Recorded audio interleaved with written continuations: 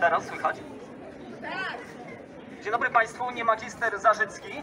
E, Proszę Państwa, Wy nie lubicie PiSu, bo nawet przeklinaliście w stosunku do tej partii. Ja też jej nie lubię, nawet można powiedzieć, że brzydzę się nią. E, A powiem Państwu, dlaczego ja się jej brzydzę. E, Z innych powodów niż Wy, dlatego że ja jestem przeciwnikiem aborcji, wszelkiej aborcji, uważam to za, za morderstwo. Natomiast jestem przeciwnikiem PiSu, dlatego że tutaj, że tutaj stoi policja, w dużej ilości dosyć, zabezpieczała ten, ten marsz, Wy łamiecie wiele praw. Ja nie mówię o takich prawach jak, jak prawo do zgromadzeń i tak dalej, bo ni- ni- niby nie wolno, ale ja, ja tego nie popieram. Natomiast wy blokujecie, blokujecie ulicę.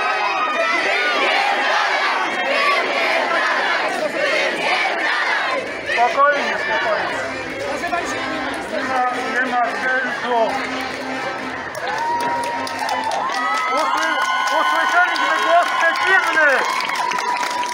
Usłyszeliśmy głos przeciwny.